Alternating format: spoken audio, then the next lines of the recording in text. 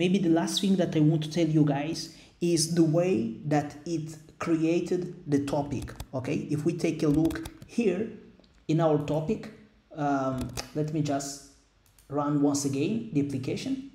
So if we take a look here in our topic, we can see that the name of the topic is almost the same as the name of our function, our method here. So for example, customer supplier, right? If we take a look here, customer supplier, and then the Spring Cloud stream just add here, right? A suffix and it's out, okay? Which means that we are sending data, right? Output, out, out, outputting data, right? And zero here, okay? So uh, in next videos, I will try to explain you more about out, in, and all these index that we are seeing here, okay? But for example, if you are, uh, I know that you guys are uh, smart, are intelligent, and you know that there is, for example, b functions, right? b supplier, b consumer. So later we will see what the zero here means, okay? So guys, now we need to have control. We need to take control of how we are emitting our data. Polling and emitting data every second, maybe for this use case is not very good, okay? But remember, maybe you need this use case when you are implementing transaction out of box, okay, pattern, which is a good pattern, or maybe you are trying to export data in real time okay? Once spring is using some mechanism uh, that allow us to poll every second. And you can even customize uh, the time that it's sending the data. But for now we need to follow another approach okay? We need to control. We need to to send data when uh, for example here our service creates a new customer. So let's do that. In that order, we are going to use the reactive API, okay, the reactive functions. So the first thing that we need to do, we need to create a new bean, okay, that will allow us to send the data. So let's do it. For example, here we are going to use the sinks, okay, that many. I will explain you guys what does it mean, okay. Let's just call it by, for example, customer producer let's just create it as a bean so it will return the sinks okay many that um, for now let's just do it like this and latest okay? So let's set it as a bean. This is very nice. So we have created here a new bean. And if you remember, guys, when you create a bean, you need a configuration. So a configuration, instead of having here at component stereotype, we need at configuration. Okay, so the configuration is the place that we create our beans, Okay, when you talk about Spring, uh, Spring Boot. Okay, and yeah, so in that order, instead of having here this which I don't really like it, okay, for now. Later in the next videos, maybe we are going to implement the transaction uh, out box pattern, okay. But for now, let's just use here the customer producer and let's say, okay, as a flux, as we can see, it's complaining because now it's expecting a flux, okay? it's expecting a flux of customer. So what is a flux? If you guys uh, understand the reactive function, there is two, two, two kinds of uh, way to emit data. We have the, the mono, okay, for example here, we have the mono and flux. So mono is a way that we can emit, okay, is a publisher that emit 0 or 1 data, okay, or one signal in, in this case. So flux, okay, emits one or more data, okay, it's unbounded. So uh, this, you don't need to really understand okay the reactive apis okay? But i just give you an example here and yeah a simple uh, a simple explanation okay? I just gave you a simple explanation. So um, the next thing that we need to do is as you can as you can see here we just have these two beans okay? Now if we go back to our service we need to refactor it okay? Let's say that okay now we have customer created okay? We put it in the past because we are interpreting it as an event. So an event is something that happened in the past okay? That's why we need to put it in the past. So customer created. So how we are going to emit this data how we are going to publish this data into Kafka okay? So now we need to let me just put here the good encapsulation okay? So now let me inject I'm injecting here the sinks that we just created. Sinks many okay? Many customer it should be the customer. And I'm, I'm just going to inject this bean okay this bean into my service.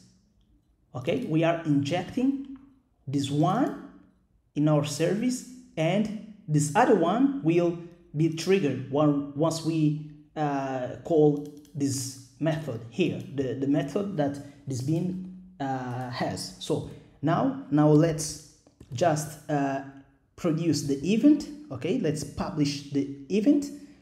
Um, in that order let's use the customer producer customer producer that let's call the method try emit as we can see here the try emit uh, try emit next it will receive a customer. So in that order we are going to use here customer created. So after that for now let's just return the customer created into controller okay? So it's very easy.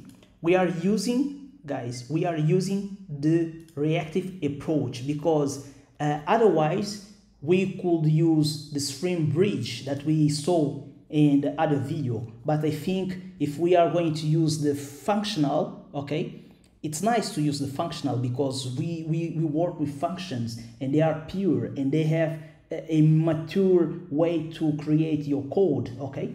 So that's why we are using here the function but with reactive api remember guys using this doesn't mean that our application is 100% reactive. No we are just using reactive api because if you need it to be 100% reactive you need to use more than only this one. For example, the concept of back pressure, your we are using here, for example, the JD, uh, the, the, the R2, uh, RDBC, okay, uh, for uh, Spring Data and so on.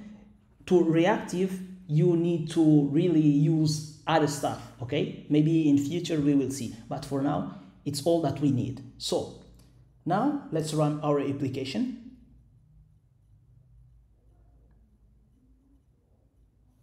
All right? So first thing we need to go to our akhq which is the ui that we are using to see what we have in uh, in kafka okay? So let me just for example here uh, delete all messages that we have in our topic okay?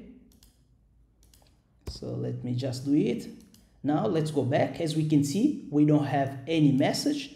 Now let's open our Intel, uh, our Postman, okay? And let me just, for example, create here a new um, customer. Let's suppose his name is uh, Steve Austin. So now let's create. Okay, we have created the stone cold Steve Austin. Let's check. Right, guys as we can see, we have here the stone cold Steve Austin customer. And as we can see here in our application, okay, it's emitting the event, okay? Customer created, once we trigger, okay, this function, we emit a new uh, event into Kafka, okay? And what we need, just two beans and nothing else. I can just show you guys here my application config. We don't have any other configuration, okay? So let me just create another. Let me just put here, for example, um, Josh Long, okay, from Spring team. And I don't know when he was born, but I think he's young. Let me just put here October. Um, yeah, let's just Josh, someone. Yeah, now let's check here. We have, as we can see, okay, we have the second customer. If we try to, to see, we have Josh Long. So we are publishing events into Kafka, okay, using Spring Cloud Stream. And for this particular case, we use the functional approach using the reactive API, okay? Remember guys, reactive API, not um, everything like reactive, okay? Async, non-blocking, and back pressure. So all those things we will see maybe later in the future. So the name of our topic, okay, has been created using like our method, okay? So customer supplier, if we check here, okay, customer supplier.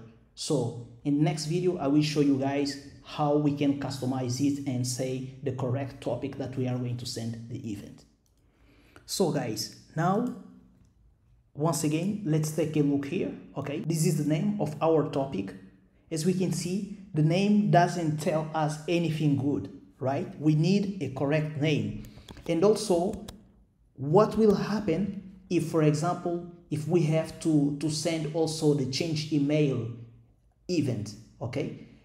So, instead of relying on our function here, which is a supplier, okay, our um, functional interface, right, supplier, instead of uh, relying on this method name in order to be created, um, we need to put, let me just say like, we need to create a new way that will allow us to define the name of our topic. Okay, the name of our topic cannot be the same as the name of our function or our bean, right? Maybe it's nice for your case, but let's suppose that we need a real topic name. So in that order, uh, we need just to, for example, start adding here some configurations for Spring Cloud Stream and Spring Cloud uh, function, okay? So the first thing that we need to do is to set the Spring Cloud function definition, okay? In this case, we are going to say, okay, yeah, Spring Cloud Stream, okay? For this function, okay we are we are defining our functions let me just go back here okay let's put this name customer supplier okay now we need to to say okay when we produce any event okay any message for this function we need to set we need to specify the topic we are telling the spring okay this for, for, for this function, for this supplier, the destination, okay, will be the topic X, Y, Z, right? So in that order, we just need to here, go here, add more, one property, which will be Spring Cloud, uh, in this case, stream, okay, bindings, and then we say, okay, the name of our function and we are telling the spring okay this is an out okay this is the we, we are emitting okay? Because if we are consuming the next video will be the consumer. If we are consuming it will be the in. But we are producing okay? It will be the out okay? And then we set the destination okay? Instead of having here customer supplier out zero we are going to tell, okay, the, the destination will be customer, let's suppose topic, okay? Later, you can just uh, do the topic naming convention and something like that, okay? And yes, that's it, I think. Now, let's run our application. Okay, uh, by default, it's creating the topic because, uh, okay, if we check here, now we have here the topic, customer topic, just as we defined here, okay? So now we are going to produce an event, okay, a message into Kafka, and it will be delivered here in this topic. So for now, let me just open my Postman, and we have here a new customer, okay? Uh, let's just uh, have it as Sasha Gray, okay? And now let's produce.